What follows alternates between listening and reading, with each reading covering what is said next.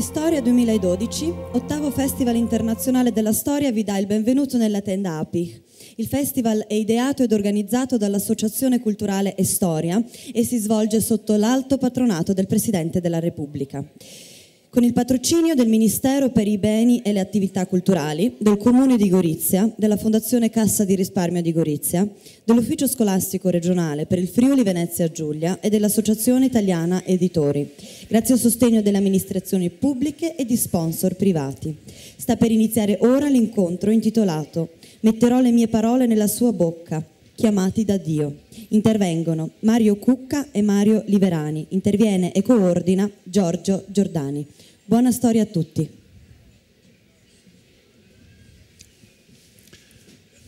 A me il compito, essendo di casa, eh, di dare avvio a questo incontro. Abbiamo sentito eh, qual è la tematica, è una tematica particolare eh, questa esperienza profetica legata a un eh, territorio, eh, il Medio Oriente, l'Oriente vicino, eh, però antico. Eh, l'esperienza è quella profetica. Noi abbiamo pensato così nel eh, dare comunicazione di questa tematica di dividere un po' il tema in tre momenti. Il primo momento sarà gestito dal professor Mario Liverani, eh, credo che nel libretto avete eh, tutta la, eh, diciamo, quella che è stata sua, eh, il suo lavoro e quindi la sua competenza. Ringrazio, difatti glielo dicevo, che sentirmi vicino, anche se di età siamo vicini, fa un certo che, perché eh, io ho studiato i suoi libri, quindi evidentemente è di grande garanzia. Per questo lo saluto e eh, dico anche a voi di ascoltarlo con quell'attenzione che è propria di questa competenza. Poi la seconda parte sarà gestita dal professor Mario Cucca, eh, che è molto giovane ma eh, ha già pubblicato, è insegnante a Roma, insegna anche a Gerusalemme, quindi ha una sua competenza e gestirà mh, in maniera particolare quella che è la parte letteraria eh, di questa esperienza. Cioè noi abbiamo eh, nel famoso Biblia, cioè nella Bibbia, alcuni libri eh, che sono i libri profetici. Lui ci parlerà, ci darà relazione un po' di quella che è la peculiarità di questo bagaglio letterario. Alla fine io tenterò così di illustrare e illustrarvi quelli che sono gli elementi caratterizzanti della figura profetico-biblica come emergono proprio da questa letteratura. Ecco, questo è un po' eh, il tratto, eh, l'indice eh, di questo nostro incontro. Quindi lascio la parola al professor Liverani che eh, darà il suo apporto. Grazie. Io innanzitutto devo ringraziare le, gli organizzatori di questa manifestazione. È la seconda volta che vengo, venni due anni fa per Orienti e rimasi, come anche oggi, assolutamente ammirato dell'ospitalità e dell'efficienza. Dunque a me spetta di cercare di inquadrare il profetismo biblico, che è un fenomeno unico, diciamo, eh, però inquadrarlo nel suo contesto storico perché eh, per quanto unico sia Israele eh, è collocato insomma, alla sua collocazione spazio-temporale eh, specifica che aiuta a capire tante cose. Dunque nell'Antico Oriente eh, e, no, e, non solo, ma insomma nell'Antico Oriente il desiderio di sapere cosa succederà eh, dava luogo a due diversi canali, un canale di informazione umana, reale, insomma di, in mano a informatori, messaggeri, esperti e quant'altro, e un canale di informazione eh, divina mediata attraverso certamente degli operatori umani. E, e questi due tipi di informazioni non sempre coincidevano, no? E allora la filosofia, diciamo, imperante era che in caso di, di non coincidenza bisognava assolutamente seguire l'indicazione divina, ovviamente. Per esempio i due grandi re modello della storia mesopotamica, Sargon e Naramzin, erano l'uno, Sargon, il modello di chi, avendo indicazioni umane e divine discordanti, seguiva l'indicazione divina. Invece suo nipote Naramzin seguiva le indicazioni umane andando incontro al disastro. No? E io ho provato a immaginarmi in un articolo scritto anni fa, insomma, la giornata di lavoro di un re assiro, il quale la mattina, dopo, dopo aver fatto colazione, non prendeva il caffè all'epoca, ma insomma eh, riceveva informazioni dai due canali, cioè gli arrivavano le indicazioni che venivano dai, dagli astrologi in particolare e le indicazioni che gli venivano dai governatori delle province, dai vari informatori umani, e con la differenza che le informazioni che venivano dal mondo divino, eh, per paradossale che sembri, avevano un rimedio, cioè si poteva mettere in atto un rituale eh, che annullasse il cattivo presagio. No? Invece le informazioni che venivano dal canale umano c'era poco da fare. Insomma, eh? Ora, quest'idea del canale divino pone un problema di accesso all'informazione che viene dal, dal mondo divino. E qui per praticità, sapendo che il tempo corre, però mh, credo di dover distinguere delle pratiche diciamo divinatorie delle pratiche oracolari e delle pratiche propriamente profetiche. Le pratiche divinatorie sono basate sull'idea che eh, il mondo abbia una coerenza interna per cui quello che succede in un settore o ad un livello corrisponde a quello che, che succede ad altri livelli allora se un livello è irraggiungibile per la nostra conoscenza, eh, la, il rimedio è di trovare un livello accessibile che ci dia un indizio sul livello inaccessibile, cioè di usare delle tecniche divinatorie e ce ne sono tante, provocate e, e, e, e non provocate. In Mesopotamia, in particolare diciamo, per tutto il secondo, terzo, secondo millennio, secondo millennio in particolare, prevalse l'esame dei fegati delle vittime delle pecore. Eh. Nel primo millennio prevalse l'astrologia con l'enorme differenza che i fegati dipende, insomma, sono, danno indicazioni puntuali variabili L'astrologia, essendo basata sull'astronomia, è matematicamente eh, vincolante, non c'è niente da fare. Eh? E questo però apre il campo alla possibilità di prevedere. No? Dopo ci tornerò molto rapidamente. Le pratiche oracolari sono diverse nel senso che l'oracolo significa mettersi in comunicazione col mondo divino eh, chiedendo, ponendo una, una domanda e aspettando la risposta. Allora, in Mesopotamia in particolare il dio che sa quello che, che succede e che succederà è il dio del sole, Shamash, quindi per esempio abbiamo un sacco di interrogazioni oracolari al dio Shamash, gli si chiede allora se io vado, faccio questo percorso, arrivo lì, c'è una città, la assedio, eh, qual è il rispondo? Riuscirò ad, ad espugnarla o no? Riuscirò, dopo averla espugnata, riuscirò a tornare a casa sano e salvo o no? E si pone questa domanda. La risposta arriva mediante una procedura eh, divinatoria, cioè si sacrifica una pecora e si vede, il risponso è no. Ah, allora non farò quel percorso, non assederò quella città, ma se assedio quell'altra, che stavolta andrà bene, eccetera. E si continua così finché c'è un responso che dice sì, vai, fa, va bene, puoi farlo, riuscirai, e allora si va.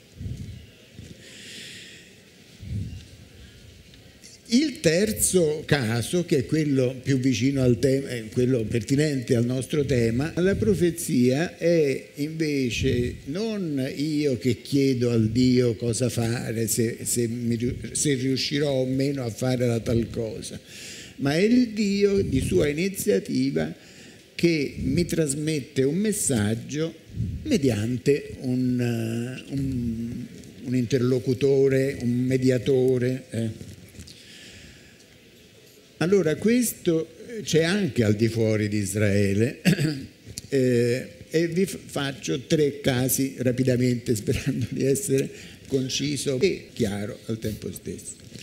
Allora, il primo caso sono dei testi che chi mai volesse sono anche tradotti, pubblicati in italiano dal compianto padre Cagni, sono le cosiddette profezie di Mari. Mari è una città eh, del Medio Frate del XVIII-XVII secolo e ci sono delle lettere che affluiscono alla corte del re da, dai governatori delle province o da, insomma, da interlocutori esterni quindi gli scrivono una lettera, se fossero interni glielo direbbero a voce. Scrivono una lettera dicendo il, la, la tal persona che a volte è un professionista, diciamo, cioè fa parte della sfera del culto, eh. in parte è una persona estranea eh, che ha avuto un'indicazione, per lo più in sogno, dalla divinità che eh, è interessante eh, sia le persone non professioniste coinvolte sia la divinità sono di genere femminile per lo più. Eh la, la, divinità è Ishtar di Arbela. E siccome questa persona che ha avuto il sogno che dice al re che gli sta per succedere qualche cosa, ma al 90% sono, sono vaticini di incoraggiamento, del tipo va, non temere, fai la tal cosa, vedrai che va tutto bene. Eh, siccome le persone che hanno trasmesso il messaggio sono sconosciute, questo messaggio va in qualche modo convalidato, verificato. Allora, siccome non si prendevano ancora le impronte digitali, ma, ma quasi, eh, i, i, segnali, di, eh, i simboli sostitutivi della personalità erano soprattutto due, la ciocca di capelli e la frangia del vestito. E allora allegata alla lettera c'è questi due indicatori che venivano sottoposti a un tipo di verifica che in realtà non sappiamo tecnicamente in cosa consistesse. Dopodiché il re si regolava, faceva quello che gli pareva. Secondo blocco di testi cosiddetti profetici sono le profezie neoassire che sono state studiate soprattutto da, da due studiosi finlandesi, un assiriologo Parpola e uno studioso di Antico Testamento, ma anche di Vicino Oriente, Nissinen, che hanno raccolto e studiato questi testi che a differenza del, dei testi di Mari, che sono delle lettere scritte una volta sola, diciamo, dei documenti unici, qui si tratta di testi letterari, tra virgolette, cioè sono delle raccolte di profezie elencate una dopo l'altra e, e sono del tipo, allora Ishtar di Arbela ha detto così e colà. E anche qui eh, di norma si tratta di incoraggiamenti e l'incipit tipico è non temere, che si ritrova anche nelle profezie bibliche, non temere e anche dai testi storici, soprattutto di, degli ultimi due grandi re, Assurbani, eh, Saradon e Assurbanipal, ci sono indicazioni di questo tipo di eh, comunicazione divina. Va, non temere, non ti preoccupare, ci penso io, anzi a Surbanipal si fa dire per così eh, per intenderci dalla divinità, non c'è neanche bisogno che vai tu, rimani a casa, mangia, dormi, fai quello che ti pare, ci, ci penso io, vedrai che va tutto bene. sono delle raccolte di, di eh, oracoli. Eh, il terzo blocco di testi considerati pertinenti, ma naturalmente siccome studi noi studiosi siamo mm, vanitosi e strani, allora quelli che chiamano profezie queste di Mario, queste assire, dicono che quelle di cui vi parlerò adesso non sono vere profezie. Invece quelli che studiano questo terzo tipo dicono che quelle altre non c'entrano niente. Eh, questo, questo terzo tipo di profezie sono dei testi eh, letterari, cioè eh, scritti e poi ricopiati, anche entrati nel filone della, della scuola, diciamo delle eh, profezie che delineano uno svolgimento temporale scandito per una serie di regni e quindi in certo senso è stato notato, credo giustamente, che più che alla profezia biblica hanno a che fare con l'apocalittica biblica, cioè in particolare col libro di Daniele oppure fuori della Bibbia con gli oracoli sibillini. Comunque queste eh, babilonesi funzionano così, dice verrà, sorgerà un re, di cui non, ovviamente non si dice il nome, se no che profezia è, eh, sorgerà un re, il quale regnerà tot anni e sotto il suo regno succederà questo e quest'altro e quello che succederà è di due tipi molto diversi tra di loro. O quello che succede sono tutti disastri oppure quello che succede sono tutte cose positive eh, quindi ci sono dei regni buoni e dei regni cattivi. Vedendo la sequenza e individuando le, gli anni di regno si riesce a individuare quali sono i re a cui il profeta, per così dire, allude, naturalmente. No? E il, il, succo della storia è che in genere c'è una sequenza di re cattivi oppure un'alternanza di re cattivi e buoni, ma insomma l'ultimo è sempre buono, nel senso che c'è questo aspetto un po' messianico per così dire, cioè dopo tutti i disastri che sono successi, finalmente arriverà il re eh, sotto il quale si risolveranno tutte le cose. Allora queste profezie naturalmente, e vabbè questo vale per tutte le, le, profezie, da un lato c'è l'aspetto prevedere il futuro o, o, o prevedere il passato, come si dice spesso degli storici, ma c'è anche l'aspetto politico del, del perché dire queste cose. Naturalmente se una profezia di questo tipo è emessa sotto il re appena intronizzato adesso, è chiaro che c'è un intento di convalida eh, della sua regalità, de, di propaganda, come si suol dire, propriamente politica. No? Va bene.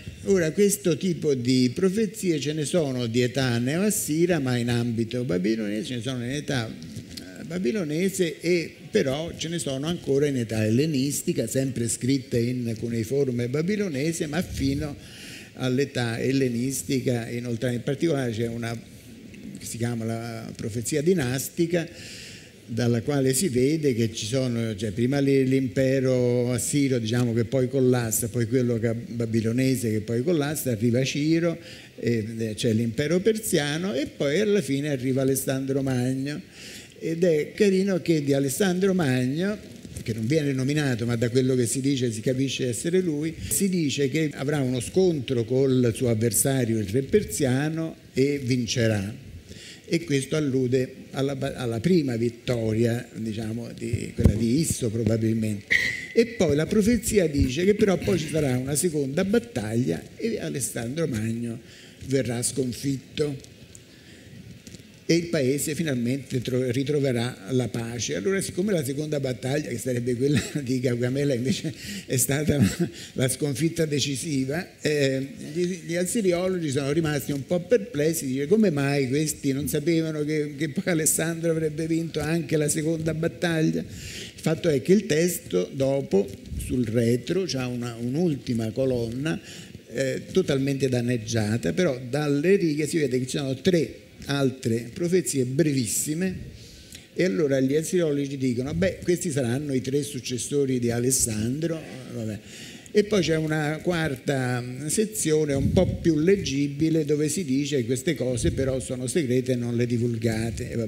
Allora io mi chiedo, io personalmente ho un altro parere, cioè mi pare che questa ultima colonna non sia profetica e la profezia si fermi alla grande vittoria eh, di, diciamo, di, Dario su Alessandro, che però non è avvenuta.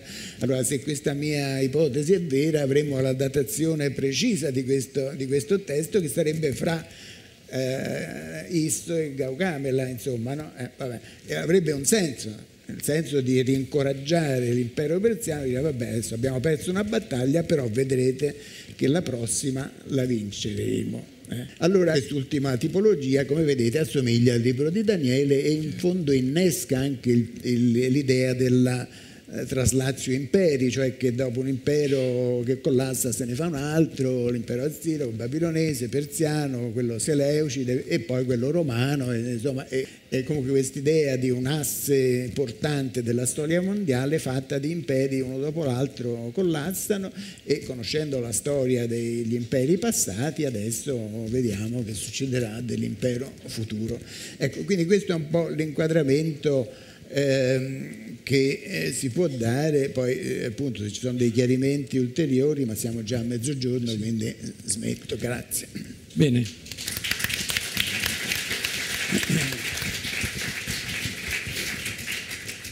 La parola al professor Cucca. Grazie. Eh, per me è la prima volta non solo è storia per, credo, evidenti motivi di curriculum vitae, ma è anche la prima volta a Gorizia, per cui sono molto grato di questo invito.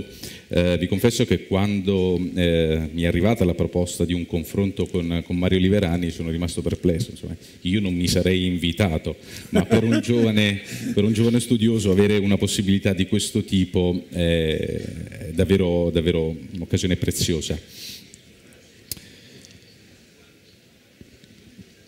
Come l'intervento di Mario Liverani ha, mostrato, il profetismo, pur se in forme e modulazioni differenti, eh, con la sua funzione di mediazione tra il mondo divino e il mondo umano, costituisce un fattore di assoluto primo piano nella storia religiosa del, del vicino Oriente antico. Ora, tra le popolazioni del vicino Oriente, per motivazioni che non credo sia necessario mettere in evidenza, il popolo di Israele, l'Israele biblico, eh, occupa un posto del tutto particolare. Ora, nel tentativo di eh, cercare di confrontare il fenomeno profetico proprio di Israele, dell'Israele biblico, con gli analoghi fenomeni delle popolazioni vicine, a mio modo di vedere bisogna evitare due tipi di banalizzazione che sono stati prospettati entrambi a fasi alterne nella storia della ricerca sulla profezia. Il primo tipo di banalizzazione è quello di pensare ingenuamente che il fenomeno profetico sia un fenomeno peculiare dell'Israele biblico. E l'intervento di, del professor Liverani ci mette in guardia da questa ingenuità. Secondo, mh, la seconda modalità di riduzione è quella di pensare che mh, ci sia una assoluta eh, convergenza tra la profezia biblica e le profezie del vicino Oriente antico, eh, dove i fenomeni si possono collocare sullo stesso piano. In realtà la posizione più corretta mi sembra, come spesso accade, quella mediana, per cui è necessario riconoscere le analogie tra la profezia biblica e le profezie, soprattutto di Mari, dell'impero neassiro, e al contempo riconoscere che se la profezia israelitica ha lì le sue origini, con l'avanzare del tempo se ne è pian piano distanziata.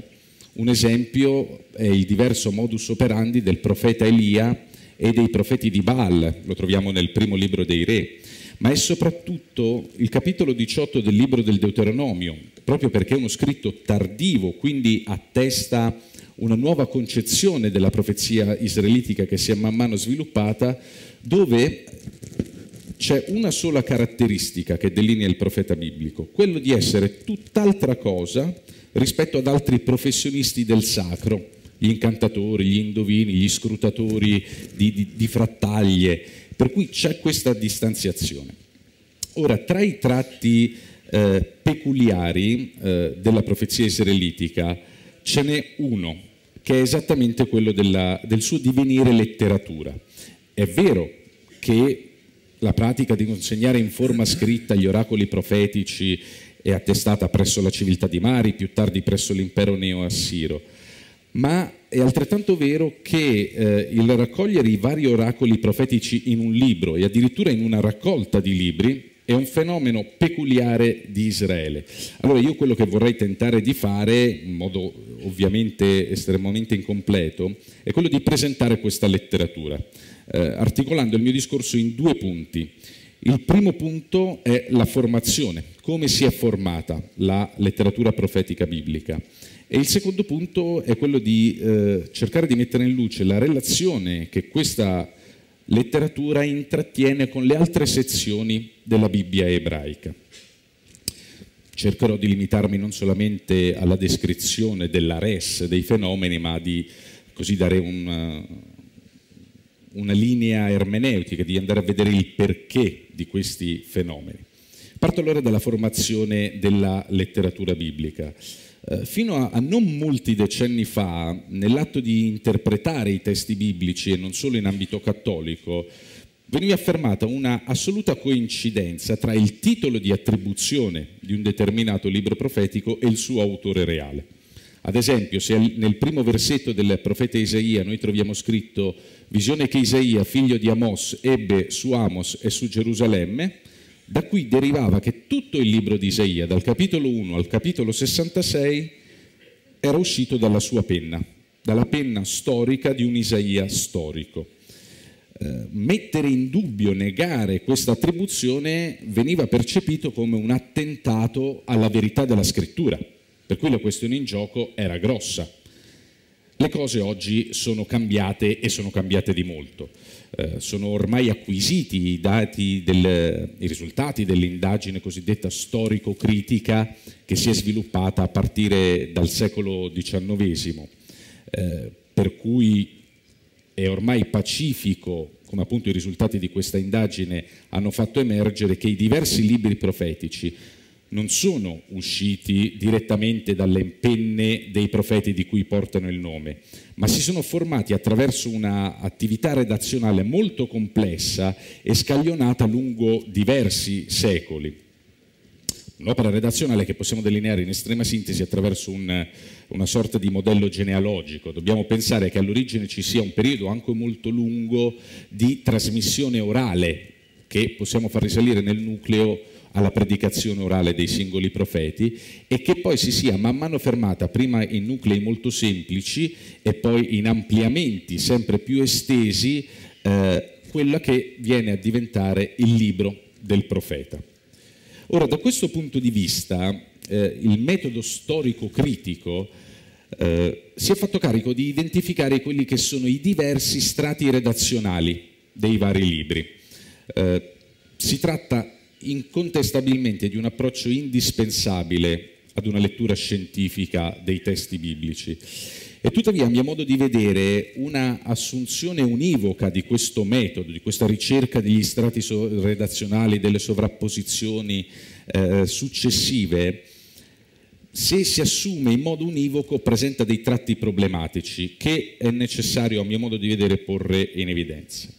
La caratteristica principale eh, dell'esegesi storico-critica è quella di assumere una prospettiva di lettura che potremmo chiamare valutativa o organizzatrice, cioè si, ci si consacra allo studio minuzioso di parti testuali piuttosto piccole che vengono situate idealmente eh, in una plausibile cornice storica che le avrebbe originate, quello che in modo improprio in realtà viene chiamato il Sitzim Leben, cioè il contesto vitale da cui un determinato testo sorge. Qual è la conseguenza? La conseguenza è che le, le, singole pericopi, i singoli oracoli, potremmo dire, riferendoci ai profeti, vengono sganciate da quello che è il loro contesto letterario attuale. Perché il contesto letterario attuale che è appunto il frutto di secoli di interventi scribali, viene ritenuto secondario o addirittura impertinente. E allora la pericope, l'oracolo, il versetto, viene inserito dai critici in un nuovo contesto letterario che per la sua forma letteraria o per il suo contenuto viene ritenuto più omogeneo. Qual è lo scopo? Lo scopo è quello di andare al senso originale o senso letterale del brano, inteso come ciò che si può supporre pensasse o intendesse comunicare l'autore originario o perlomeno come il senso che potevano capire i primi recettori, i primi destinatari. La conseguenza è che il senso del testo, il testo profetico, resta ancorato sul versante del passato. Per cui il senso di un testo così smembrato resta accessibile solamente a chi si occupa della storia redazionale dei testi. I lettori, la maggior parte di noi, resta esclusa dall'accesso al senso di questi testi. Per ottenere un risultato di questo tipo si procede sui testi ad un lavoro di tipo archeologico, potremmo dire, e infatti si parla di strati redazionali analogamente a quanto si parla eh, di strati eh, di insediamento nei diversi siti archeologici. Eh, si selezionano quelle che si ritengono le parole autentiche, le famose ipsissima verba dei profeti, che vengono liberate dalle incrostazioni successive, perché queste vengono ritenute appunto impertinenti. Ora, da questo punto di vista, a mio modo di vedere, eh, si assiste ad una sorta di incongruenza, perché un metodo di approccio che si definisce storico, storico-critico, di fatto, paradossalmente, procede a una svalutazione indebita del processo storico di elaborazione dei testi. Perché è proprio in questo processo di elaborazione che invece è riscontrabile una ricchezza interpretativa.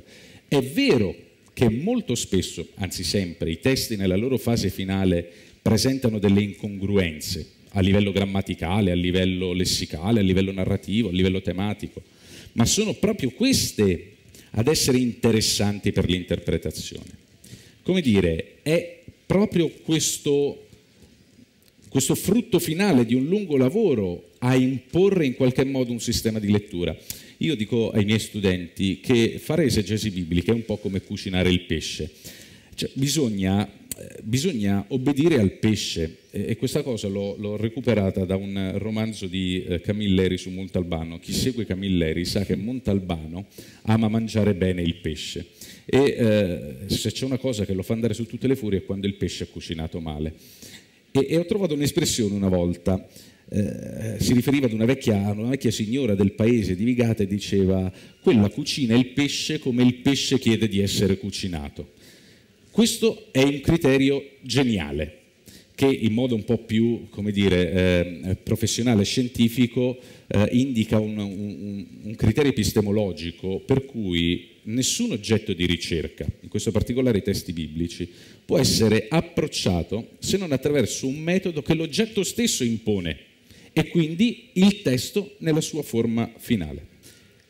Procedere così per sezioni ehm, e per valutazione dei testi comporta perdere di vista l'orizzonte globale di un determinato testo, che è quello di un determinato libro profetico nella sua forma finale e più ampiamente dell'intero libro che è la Bibbia. Gli strutturalisti invece ci hanno insegnato che eh, una, il senso di una porzione testuale, un determinato oracolo, un determinato capitolo di un profeta, non può essere compreso se non, eh, nel, se non è inserito nello scritto totale, di cui la singola parte è un tassello significante. Invece, a mio modo di vedere, è proprio il testo finale, come frutto di una lunga e complessa opera redazionale, che permette al lettore di inoltrarsi nel senso della profezia biblica. Perché? Perché dal punto di vista biblico, eh, attraverso la parola dei profeti, è Dio che prende la parola, è Lui che si intromette nella storia umana. Ma attraverso i profeti il Dio biblico non ha parlato soltanto a un tempo, ma in modo tale che, come dire, con la morte dei profeti il messaggio concludesse la sua funzione ma è un messaggio che risulta valido anche per le generazioni successive. La parola profetica acquista questa attualità rinnovata proprio perché è stata messa per iscritto attraverso un'operazione di continua attualizzazione da parte dei redattori. Insisto un minuto su questo. Le parole bibliche dei profeti sono eh, parole appartenenti ad un'ora storica, un momento storico ben preciso, in cui degli uomini inconfondibili, Amos, Osea, Isaia, Geremia, sono stati inviati a dei destinatari altrettanto inconfondibili. Il re di Giuda, eh, l'intelligenza sacerdotale del Tempio. Però la portanza delle loro parole non si è esaurita in quell'epoca precisa, ma secondo l'opinione dei discepoli, eh, quelle parole hanno assunto di volta in volta un significato che andava ben oltre quell'epoca storica e restava valido per le generazioni successive. Poiché è la parola del Dio vivente ad essere in gioco, i discepoli la trasmettono a degli esseri umani che vivono in altre situazioni storiche totalmente diverse. E con questa con questo ampliamento, con questa trasmissione, la pretesa della parola profetica cresce. Se la parola orale di un profeta era destinata ad una determinata classe di persone, per esempio ai giudici o ai sacerdoti del Tempio o ai contadini, la parola tramandata dai discepoli per iscritto avanza la pretesa di essere valida anche per lettori che non appartengono a quelle confederazioni. Questo è, è assolutamente decisivo. La parola del profeta viene tradotta attraverso questo processo di elaborazione in un tempo nuovo, cioè viene attualizzata per nuove circostanze. E allora da questo punto di vista, mentre l'esegesi storico-critica ha impegnato ogni sua energia a ricostruire la figura storica del profeta e le loro parole autentiche, di questo dobbiamo essere assolutamente grati, oggi assistiamo ad una sorta di slittamento di paradigma nell'affrontare la letteratura profetica, con due importanti implicazioni. La prima è che l'oggetto di attenzione non è più semplicemente il profeta inteso come la persona originaria che ha prodotto lo scritto, bensì oggetto di attenzione è il testo profetico nella sua complessa realtà di corpus letterario in divenire. La parola profetica viene continuamente meditata e adattata agli eventi contemporanei e ci parla di una storia in movimento che abbraccia orizzonti sempre più ampi. E questo, seconda implicanza in diretta connessione, implica che non è più possibile utilizzare solamente il metodo storico-cronologico nella lettura e nella comprensione dei testi profetici, nel tentativo di rintracciare con sicurezza gli eventi storici, i dettagli storici che sono dietro ai testi. Perché le integrazioni, le modifiche, le nuove strutturazioni del materiale, quelle apportate dai trasmettitori, con il sigillo di quello che è il redattore finale, non sono uno snaturamento del messaggio originario, ma al contrario esprimono il dato carismatico di una profezia che continua, di una profezia che è condivisa, che è coestensiva ad una storia di rivelazione che si protrae nei secoli. E allora, e passo al secondo punto molto più breve, che relazione ha questo corpus letterario nella sua forma finale e canonica con le altre sezioni della Bibbia ebraica. Eh, accennavo prima al fatto che la linguistica strutturale ci ha insegnato che un testo non può essere compreso e accolto se non nella totalità dello scritto, di cui la singola parte è un tassello significante. E allora una comprensione della letteratura profetica domanda di essere posta in relazione con le altre sezioni della Bibbia, in modo particolare con la Torah. La Torah, cioè il nostro Pentateuco, nella sua forma definitiva, è senza dubbio un prodotto molto tardivo che risale all'epoca post-esilica in generale. Possiamo azzardare una datazione della stesura finale al IV secolo a.C. Ora, gli studiosi affermano che alla produzione della Torah ha contribuito in maniera decisiva il profetismo, sia per affermare la qualità delle concezioni religiose, soprattutto per quanto riguarda il monoteismo, sia per precisare delle istanze legislative. Questo è senz'altro vero e tuttavia è necessario riconoscere una, valen- una valenza interpretativa imprescindibile alla forma del testo e dunque alla posizione canonica e questa ci dice che prima viene la Torah e poi vengono i profeti. Torah, Nevi'im, profeti, Ketuvim, gli scritti. Quindi sono i profeti che intervengono sulla Torah, che si riferiscono alla Torah per renderla efficace nella storia del popolo. Ho concluso il mio tempo, eh, quindi dico solo in 13 secondi che come la profezia diventa significativa attraverso l'opera dei redattori, così continua a diventare significativa attraverso l'opera dei lettori. Lo scritto si sgancia dal suo autore originale e si lascia, si abbandona alla libertà dell'interprete. Grazie.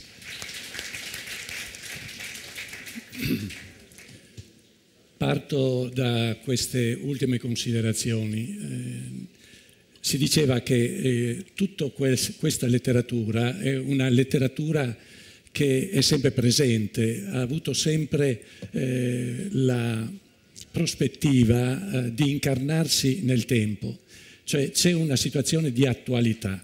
Ecco, questo credo sia eh, un elemento che mi permette di fare poi una sintesi. Il secondo elemento è che il lettore quando approccia questa eh, letteratura ha una capacità di cogliere un perenne che è presente nella figura profetica. Ed è il tentativo che eh, cercherò di fare, sarà presuntuoso, ma eh, cercare di cogliere quelli che sono gli elementi che potrebbero essere caratterizzanti eh, la figura profetica, certamente con le radici bibliche e determinanti, ma anche quello che potrebbe essere la profezia che nasce con quali caratteristiche, che in fondo è quello che può interessare a ciascuno di noi eh, dopo aver, si dice, riletto eh, la storia. Leggere la storia non vuol dire conoscere la cronologia o gli eventi, ma conoscerne il senso. Allora io parto da una eh, considerazione che mi sembra determinante. Eh, la figura profetica, profeta in ebraico è Nabi, plurale, Nebim, che è difficile tradurlo, no? non si sa come, ma è un proclamatore, uno che ne parla, perché eh, ha una sua forza nel parlare. Allora, questa figura, come la possiamo identificare? Facendo un esempio così eh, a noi vicino, che carta d'identità noi dovremmo dare alla figura profetica? Ecco, la figura profetica io la definirei, eh, tenendo presente sempre questa letteratura, un uomo libero, però di una libertà misteriosa. Mi veniva, eh, riflettendo su questi eh, temi, di dire in senso buono certamente, quasi una persona schizofrenica, perché è veramente sdoppiata ed è lì un po' eh, la peculiarità eh, di queste figure. Perché, ad esempio, c'è il libro del profeta Geremia che a un certo punto quando racconta un po' la sua figura è un'espressione molto bella, dice non posso tacere perché se taccio brucio, no, veramente brucio, però se parlo, ad esempio, ho tutti contro. Quindi evidentemente è una persona che si accorge che quello che ha in mano è più grande di lui. È una realtà veramente molto molto eh, forte, pesante. Tant'è vero che potrei citare altri due o tre eh, brani ad esempio eh, Geremia dice sono giovane, come posso io parlare, come posso io proclamare? Evidentemente l'essere giovane non vuol dire avere un'esperienza della vita, quindi non riesco a comunicare qualcosa di significativo. C'è una bellissima eh, brano di, di Amos, eh, che lì è anche eh, storicizzabile, cioè, eh, dove dice, ad esempio, io non sono profeta, non sono neanche figlio di profeta, è bellissimo in, in ebraico perché lo nabi anochi, no? che poi si ripete due volte, perché dice non sono profeta, ma perché non profeta? Se è profeta, perché evidentemente ha in sé, capisce, coglie, non so se la persona, ma il libro sì, la comunicazione sì, eh, si accorge di avere in sé un mistero, una realtà grande che lo sovrasta, che è più grande di lui. Altro elemento, cito eh, Ezechiele, quando vuol profetare deve mangiare il libro, deve far sì che quella realtà entri in lui e si faccia parte di lui. Allora, chi è il profeta? Veramente eh, il mondo religioso eh, ha un, una terminologia che normalmente ripropone, dice colui che sente una chiamata. Mm? Credo che eh, sintetizzare un po' questa realtà in maniera eh, abbastanza forte, cioè la vera profezia, ripeto, non so di chi, non so eh, di quale realtà, probabilmente dovremmo, eh, dovrebbe essere di tutti, e sono, siamo qui tutti quando cogliamo in noi un mistero più grande di noi che ci arricchisce, ci riempie, è più grande di noi, è un fuoco che brucia. Ecco, questa è l'immagine. Ecco perché l'uomo, a questo punto dicevo profeta, o la funzione profetica è libera, sente di non avere eh, da eh, rispondere a nessuno, nessuno se non a quel tutto che è Dio. Ecco, questa credo sia una delle caratteristiche più belle, cioè il disinteressato, il libero, colui che coglie in sé qualcosa più grande di sé. Una seconda caratteristica eh, che mi sembra così di voler in qualche maniera riproporvi è data proprio da quale capacità deriva da questa potenzialità. Se uno ha questa potenzialità, quale capacità ha? Vedete, eh, sempre nella letteratura eh, profetica c'è un'espressione che ritorna, ancora in ebraico, ko amar Yahweh. Eh, il termine è così dice Yahweh. Un'espressione eh, così letteraria che a prima vista dice pochissimo, sembra quasi così quelle divinizzazioni o eh, quegli oracoli un po' sempliciotti di cui eh, molte volte si sente parlare. No, ma lì si dice così dice Yahweh. Il problema eh, così pregnante è proprio in quel dire, no? che richiama una delle peculiarità del mondo semita. No? La, la parola non è il semplice dire, la parola è azione, la parola è atto creativo. Ricordo per tutti quanti noi che conosciamo quella prima pagina della Genesi dove si dice Dio disse e la luce fu. Non è un dire, è un creare, è una comunicazione, è qualcosa di eh, pregnante. Eh, cerco di descrivere, normalmente la parola è vibrazione, è suono, la parola è lontananza, la parola si incarna in strutture linguistiche diverse, eh, la parola è eh, molte volte, eh, molte volte è come sua natura molto semplice, ma la parola è comunicazione. E la comunicazione può avere eh, dei gradi eh, diversissimi. La parola può anche dire falsità, può imbrogliare, può fare propaganda. Questa parola profetica è densa di azione creativa, è densa di realtà, interviene come lettura di ciò che agisce nella storia e cogliere esattamente quello che è l'agire significativo della storia Ecco perché il profeta biblico normalmente è l'uomo dell'oggi, è l'uomo che è capace di dire nelle situazioni co amar Yahweh. Non cosa dice, cosa sta facendo. È l'agire, traducendo, del bene, del vero, del giusto nella realtà. È la pregnanza di una storia autentica. Ecco, questo è il profeta. Il profeta che capisce che questa realtà è più grande di lui, ma che è lettura autentica della realtà. Apro una brevissima parentesi. Pensate nel, nell'oggi, prendere un giornale e dire vorrei essere profeta. Cioè come rileggere tutte queste eh, situazioni con eh, questa potenzialità, che poi va ancora agganciata a due o tre cosette che mi sembrano estremamente importanti. Ecco, questo è quel profeta che parla ribadisco, eh, non stiamo parlando delle figure, delle situazioni, ma proprio questa ansia profetica, che questa letteratura comunica e diventa di un'attualità unica.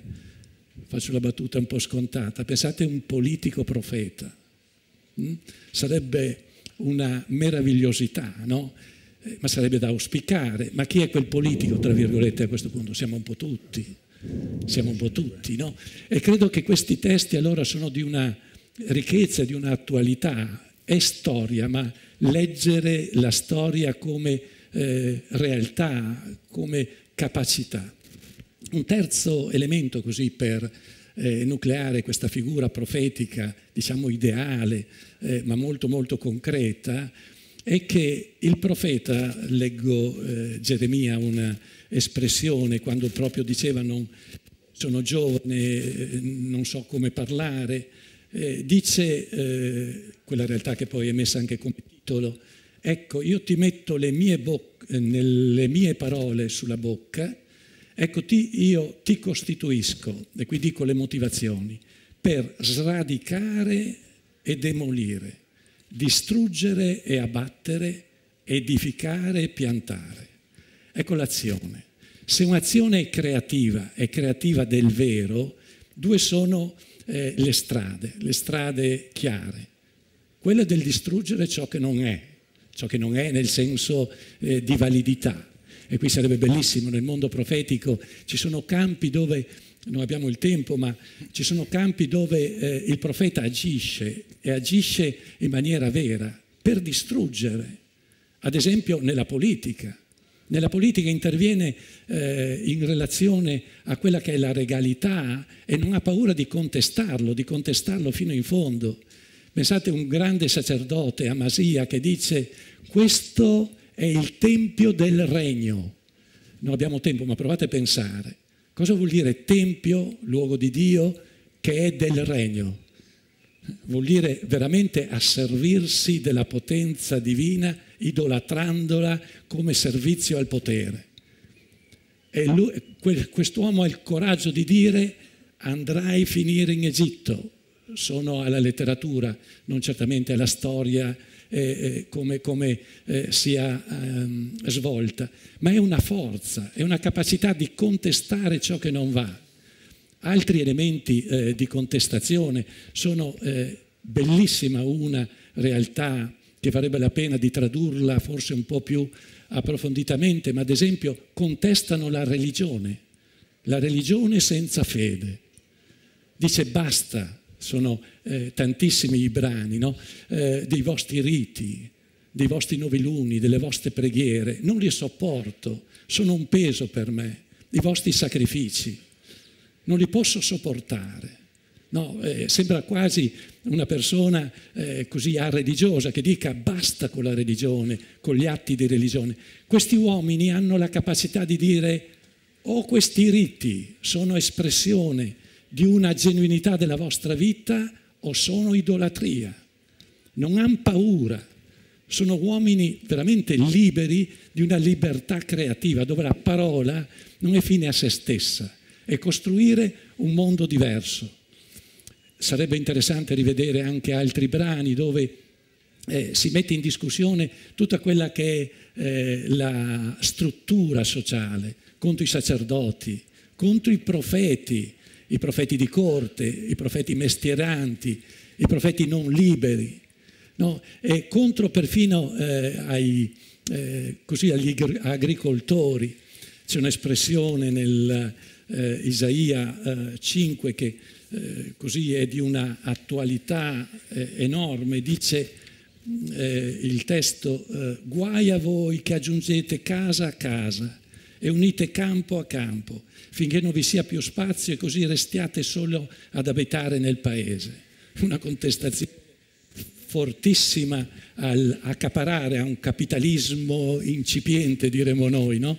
Eh, Ecco, vedete la forza eh, di questa profezia che è di una ricchezza enorme, quel distruggere, ma la ricchezza enorme, e qui arriviamo un po' al clou nuovo, vedete la, eh, quello che si dice la critica negativa, siamo capaci tutti di farla no? e siamo tutti maestri, quello che è invece ricchissimo è che all'abbattere c'è anche la, la grande forza di costruire non c'è mai una realtà che non venga intravista come possibile di speranza realizzata.